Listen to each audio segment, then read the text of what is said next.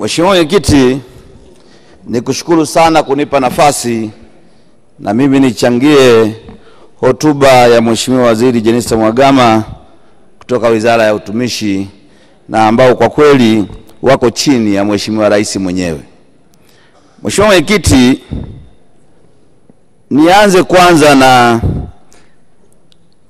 tasafu niigusie kidogo ili baadaye sabufa ikifunguka nisije nikasahau jambo hili. Mheshimiwa Mwenyekiti, nimshukuru waziri, nilimuomba watu wa tasafu pale Mvumi, kuna kitendo kibaya sana kilifanywa pale. Walengwa wa tasafu wanagawiwa pesa zao, alafu mgambo wakasimama dirisha la pili, alafu wakaanza kuwachangisha mchango kwamba nishike mkono, wanachangia elimu. Hili jambo nimemlalamikia Mheshimiwa Waziri na naibu wake. Bahati nzuri nawashukuru sana, wamelifanyia kazi na nimeona barua kutoka kwa mtendaji mkuu wa TASAF kwamba zile pesa zirudishwe kwa wale walengwa wa kijiji cha Mvumi Misheni na walengwa wote wa wilaya ya Chamwino ambao walikatwa pesa zao kwa mchango ule. Kwa kweli nitaka kushangaa sana, mgonjwa badala ya kupewa dripu, alafu kuna watu wengine wenyewe ndio wanamtoa maji sasa. Sasa niombe Mheshimiwa Waziri, tamko lako liwe la haraka. Utakapojibu hapa, hebu jambo hili lifanyike haraka ili wale walengwa warudishiwe pesa zao. Lakini hapa nina mambo machache sana. Moja, Mheshimiwa Mwenyekiti, ni mgawanyo wa ajira. Mheshimiwa Mwenyekiti, tukisema tutegemee mtandao peke yake, jamani, nataka niwaambie, sijui kuna nini kinatokea hata kwenye mtandao.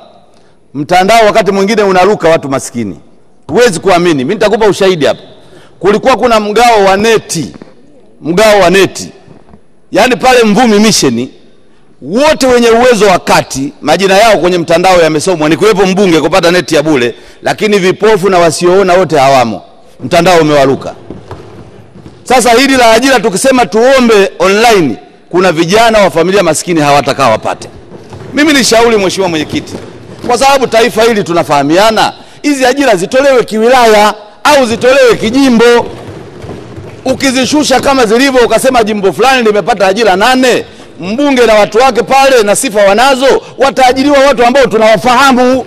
Lakini kila ikitoka ajira, watu unaowajua kwenye jimbo lako hawamo na wenye sifa hawamo. Jamani, nina mashaka na mtandao unakwepa watu maskini. Jambo jingine ninalotaka kulizungumza, Mheshimiwa Spika, tukiweka mgawanyo wa ajira kiwilaya au kijimbo, tutamaliza hayo matatizo, kwa sababu nchi nzima itaajiriwa mara moja. Utakuwa umewapata watu kutoka nchi nzima. Taarifa. Da, kakaangu, yani leo niko vibaya. Mheshimiwa Lusinde, kanuni nasema kwa idhini ya spika atatoa taarifa. Kwa hiyo Haya. sijaidhinisha bado. Haya, naendelea. Tabasamu niache kidogo, leo nina mambo mazito. Mheshimiwa Tabasamu, jambo la pili nalotaka kulizungumza hapa, kipaumbele cha ajira wapewe wale ambao wanajitolea. Kuna watu wanajitolea, wana miaka mingi wanafanya kazi ya kujitolea kwenye kila idara, hao ndo wapewe kipaumbele cha kuajiriwa kwanza. Lakini tukiwaweka kwenye kapo moja, wanaojitolea wanakosa, wanapata watu wengine. Nchi yetu ina wastaafu Tabasamu. Naomba nimpe taarifa mchangiaji. Mtandao wenyewe leo ni siku ya tatu umezimwa, unapatikana mijini tu. Mheshimiwa Lusinde, endelea. Asante sana. Sasa naomba watu wa taarifa wengine, hebu tulieni, nataka kuzungumza mambo makubwa Mheshimiwa Rusinde. Lusinde, Nimepokea. unaipokea. Asante. Mheshimiwa Mwenyekiti, niombe sana watu wanaofanya kazi ya kujitolea ndio wawe kipaumbele cha kwanza. Lakini Mheshimiwa Mwenyekiti, nchi yetu ina wastaafu wa aina nyingi sana. Ina wastaafu ambao wametumikia serikali, lakini bahati mbaya sana ina wastaafu ambao hawajawahi kufanya kazi popote.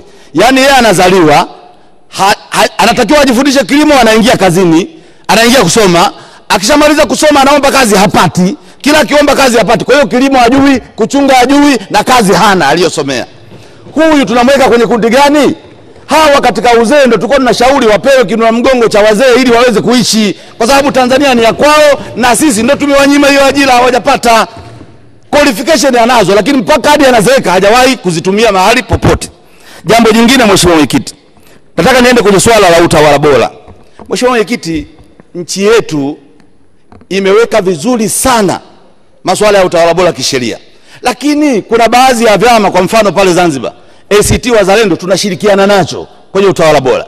Sisi tuna rais, tuna serikali, wao wana makamu wa kwanza wa rais. Lakini nimemsikia kiongozi mkuu wa ACT Wazalendo Zito anamnanga Mheshimiwa Magufuli kana kwamba Zito hashiriki kwenye serikali, na hili nataka niliseme, ndugu zangu, Magufuli aheshimiwe, Zito aelewe kwamba swala la kufiwa ni swala kubwa. Haiwezekani tuache kwenye utawala bora kulizungumza swala la Magufuli kusemwa vibaya, na mimi sitaacha.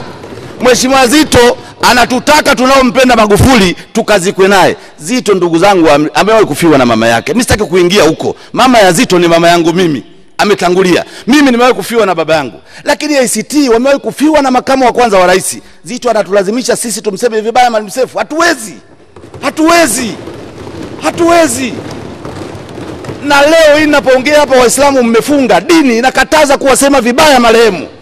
Zito ni Muislamu, anajua.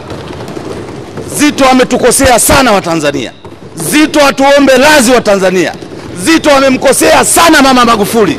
Zito ameikosea sana familia ya Magufuli. Hili jambo sio sawa. Ndugu zangu, tusifikiri kumsema vibaya Magufuli kutatusaidia. Hawezi kujibu, hayupo. Kama ulikuwa na tatizo nayo, maliza, utakuja kukutana naye kwa Mwenyezi Mungu. Mtu akishatangulia kitabu chake kinafungwa, tunamwachia Mwenyezi Mungu kuja kutoa hukumu. Inakuwaje watu mnakuwa waoga, viongozi wakiwepo hamsemi, wakiondoka ndio mnasema? Huu ni uoga uliopitiliza. Mtu mmoja tu alisema kwa vitendo kwamba yeye hawezi kufanya kazi na Magufuli. Nyalandu aliachia ubunge hapa akaondoka, lakini wetu tuliobaki hapa ni watu wa Magufuli na tulifanya naye kazi na tulikuwa tunamsifu. Hivyo ndivyo ambavyo tunatakiwa tumsifu na Mheshimiwa Samia, na ndo kazi tunayofanya hapa. Tusiweke unafiki. Mimi nataka nikwambieni hawa watu ambao sasa hivi wanamsema vibaya Magufuli na kumsifu Samia ni wanafiki wakubwa. Samia akiondoka watamsema vibaya hivyo hivyo hivyo hivyo. Ni bora mimi Lusinde ambaye niko wazi na siwezi kuacha, haiwezekani. Kwa hiyo nchi yetu ili iendelee utawala bora, hawa watu tunashirikiana nao. Viongozi waliokufa ni watu wazito. Mwalimu Sefu amefanya kazi kubwa, Magufuli amefanya kazi kubwa. Sasa ukisema eti wanaompenda Magufuli wakazikwe na Magufuli, maana yake nini? Hii ni kashifa kubwa sana. Zito aombe radhi taifa hili, awaombe radhi familia ya Magufuli na asirudie tena kufanya mambo ya kipuuzi kama hayo. Mheshimiwa Mwenyekiti, Asante sana Mheshimiwa ngoma imeisha. Sasa sabufa lilikuwa limefunguka, na- naunga mkono. itimisha Hitimisha hoja yako kwa, kwa dakika moja, lakini dakika moja. Sasa umepaki magari yote ya ili iwe. Huoni unakosa pesa nyingi sana? Bana we, bima zimeisha, ndio nakusanya pesa, zikitimia nizikatie. Mtani vipi tena eh?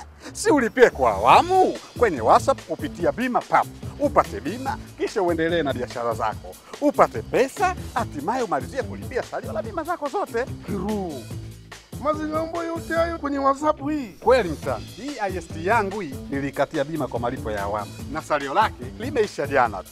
Ni rahisi sana, piga nyota 150 nyota 51 reli au kwa WhatsApp tu maneno bima pap kwenda 0764 166066.